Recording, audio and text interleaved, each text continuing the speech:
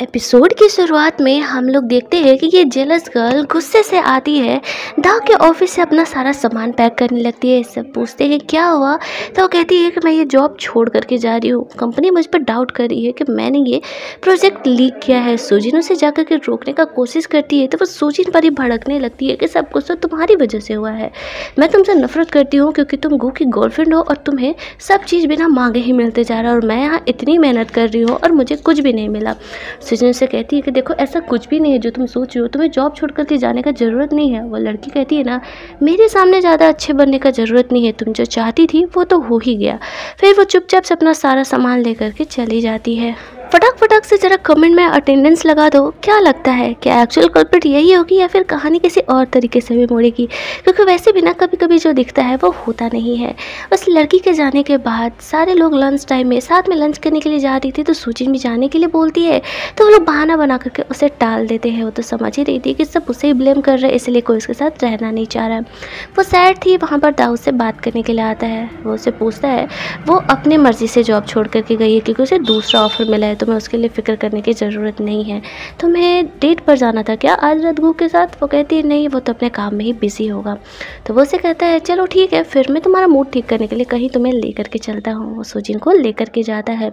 इधर हम लोग देखते हैं कि एमी वेट कर रही थी जी के घर आने का। जब वो घर आता ना तो उसे फिर से शादी के लिए हिंट करती है। लेकिन यहाँ पर फिर से ना, जी उसे यूँ इग्नोर कर देता है, जैसे कि वो समझ ही नहीं रहा है।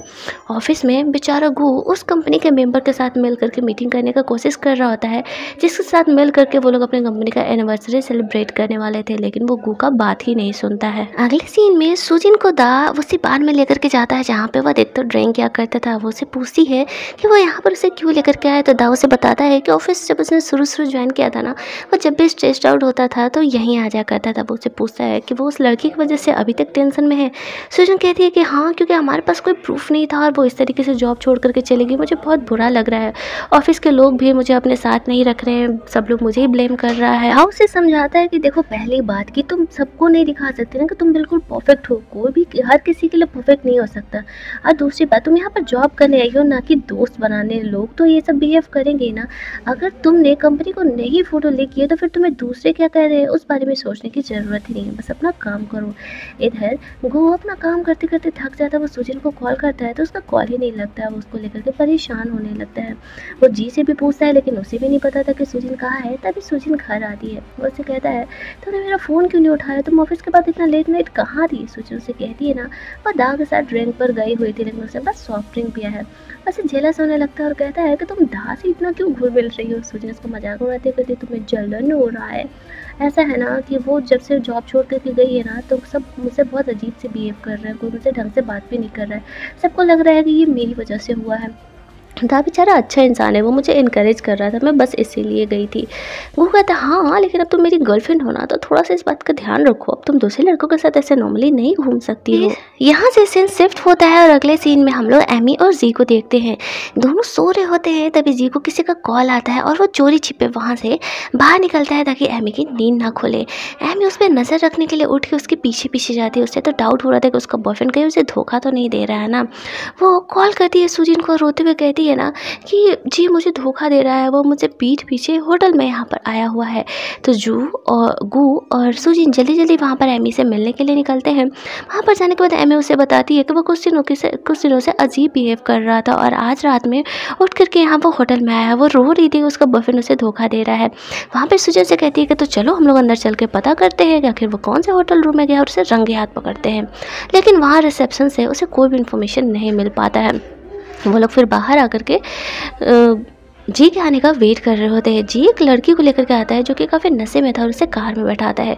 ये देखते ही सुजिन जाके उसे उठा के पटक देती है और कहती है, तुम्हारी इतनी हिम्मत कि तुम मेरी बेस्ट को धोखा दो। वो कर रहा हुए बेचारा बोलता है, अरे यार, मैंने तुम्हारी बेस्ट को कब धोखा दिया? मैं तो यहाँ पर डिजाइनेटर ड्राइवर बन करके आया था। मैंने पार्ट टाइम जॉब पकड़ा है रात में। इसके बाद बेचारी एमी जाकर के उसे संभालने लगती है। वहाँ से वो लोग एक जगह जाते हैं जहाँ पर गू और जी ने मिल करके एमी के लिए एक बहुत ही प्रेटी सा वेडिंग ड्रेस खरीदा था, लेकिन गू से वो बहुत ज़्यादा हेल्प नहीं लेना चाहता था। इसीलिए उसने पार्ट टाइम जॉब ज्वाइन किया था ताकि वो अपनी शादी को फाइनेंस कर सके। वो कहता, मैं तो तुम्हें सरप्राइज़ देना चाहता था कि एक्चुअली मैं जल्दी तुमसे शादी करने के इरादे में हूँ। लेकिन तुम हो कि मुझे पर डाउट कर रही होती है। वहाँ पर बेचारी एम उसे हक कर लेती है और कहते हैं आई एम सो सॉरी मुझे तुम पर ट्रस्ट करना चाहिए था। चलो, इनका मामला तो सेट हो गया। इसके बाद हम लोग ऑफ़िस में मीटिंग के लिए पहुँचते हैं। वहाँ पर जो सारे शेयर होल्डर्स थे ना, उनका कहना था कि हम लोग क्यों ना सेलिब्रेशन को आगे बढ़ा दें, ताकि हमें ये पता करने में समय मिल सके और ज़्यादा कि आखिर ये फ़ोटो लीक किसने किया है? लेकिन वो कहता है कि नहीं, हम लोग सेलिब्रेशन आगे नहीं बढ़ाएँगे, हमारे पास प्लान बी है।